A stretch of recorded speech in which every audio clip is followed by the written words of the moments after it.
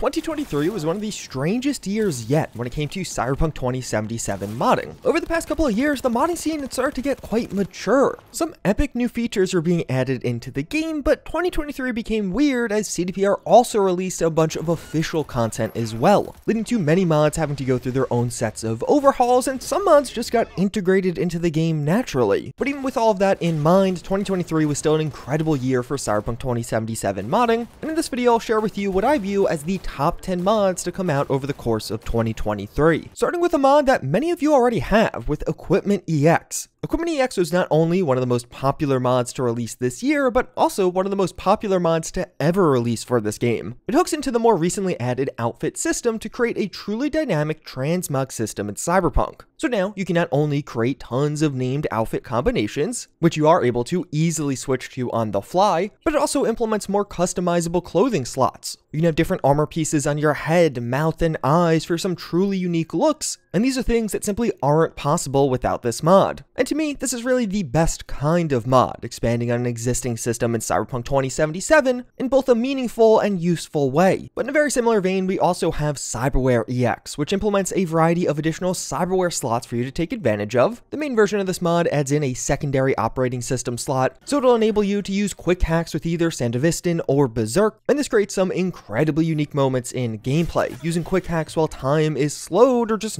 neutering enemies before you go in for the kill. But this mod also comes with a secondary option where you'll have a bunch of added slots in each of the major categories of cyberware. And ever since patch 2.0 and the cyberware rework, this mod has become far more balanced even though at first glance it may seem just overpowered. Now since there's a hard limit on cyberware capacity, those extra slots are only sort of useful. And even further, nearly all of the new slots are locked behind specific perks several being higher tier perks, so you won't be able to just unlock them until you're later into the game. So as a result, you're left with a surprisingly balanced mod here, but it does add in a ton of really fun new gameplay possibilities. Because being able to use more cyberware and having more choice in how you use your cyberware is just really fun in Night City. Out of all of the mods you find on this list, you may have the most fun with this one, just as a result of some of the wacky combos that previously weren't possible. And for me, any mod that really ups the fun factor in a meaningful way is a gigantic win for the game. Enemies of Night City is an absolutely epic mod that dropped earlier this year, but only this week was updated to 2.0. At its core, this mod will overhaul your encounters with enemies across Cyberpunk 2077 overall. Many enemies in the game will now have new abilities added to them, and with many new weaknesses or counters added as well. This could be something as simple as a new chem that will buff themselves up or even reset the cooldowns on some of their abilities, but also more specific and custom things like being able to break your hold on them, being able to blend with the environment, or even just getting hit from toxic ammo that certain groups of enemies will use. One of the unique parts of this one is enemies didn't just get buffed to their offensive abilities, they also got new faction defining resistances as well. So if you go up against the Voodoo Boys, you may find that they're now more difficult to hack if you're a netrunner, or if you come up against some Militech members, they're going to have some extreme burn resistances, so if you're relying on that, you're out of luck, but also use flame ammo so they'll set you ablaze during the fight. And 6th Street got enhancements to their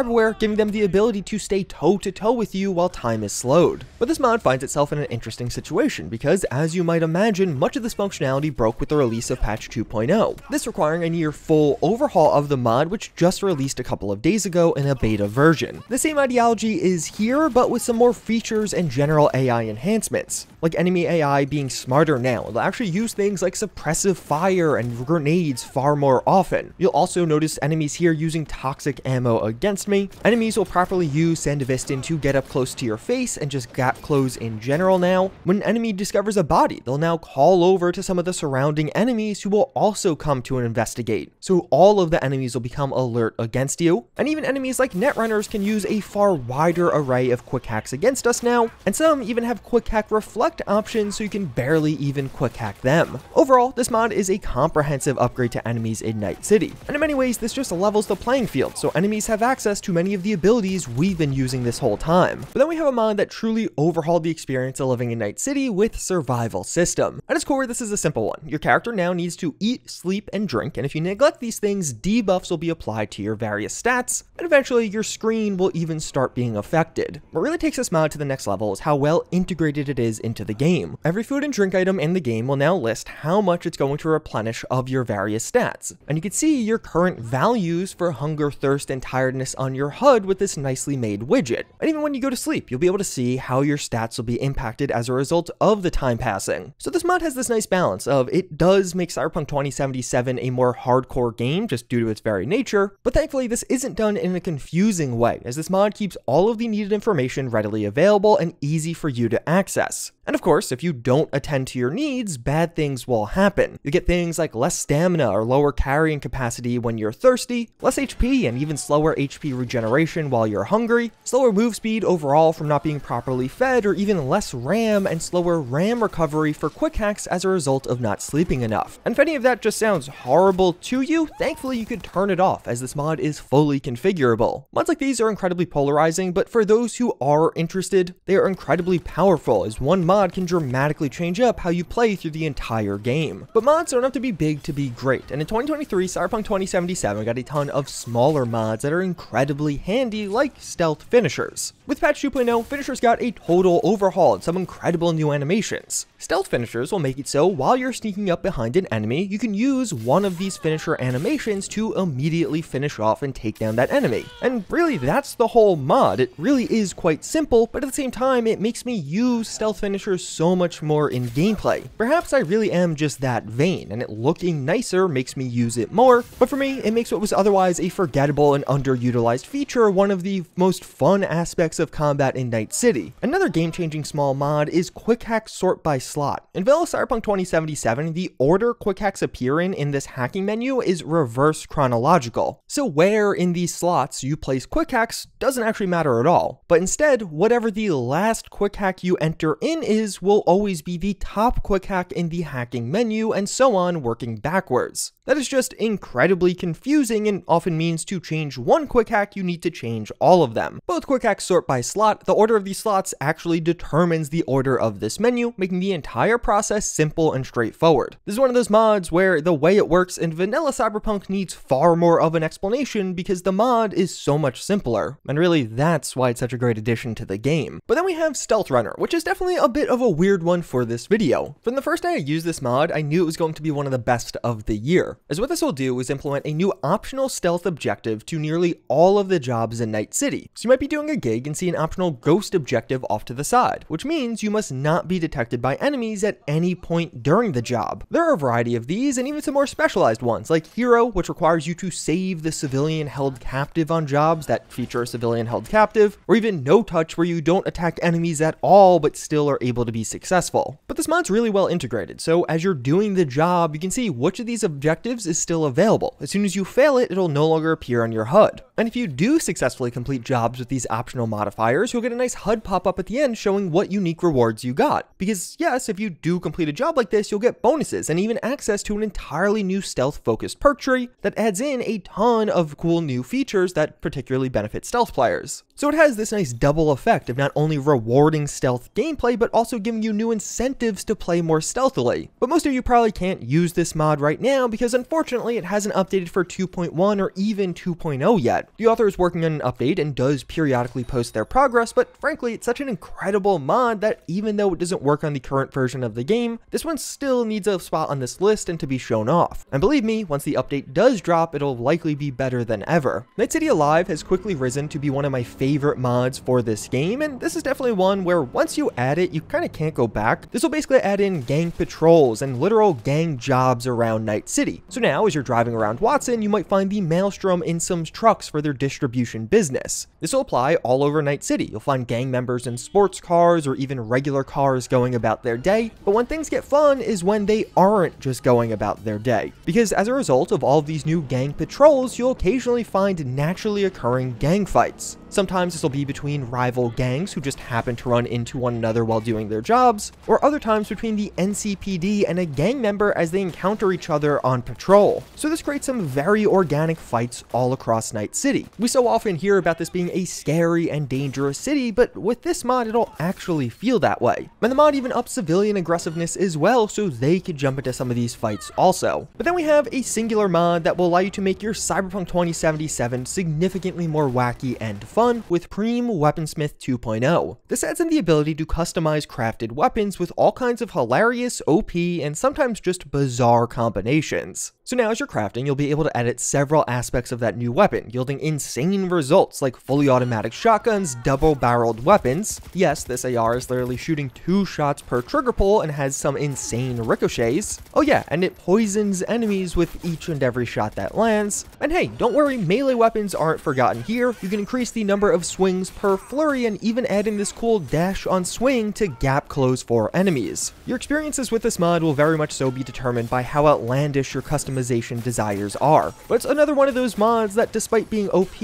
at moments is just incredibly fun to use. It turns crafting from something that is kind of helpful to something you'll fully devote resources into just to see what you could come up with. And as you can imagine, there are some incredibly powerful builds and synergies with this one and some of the new overhauled 2.0 perks.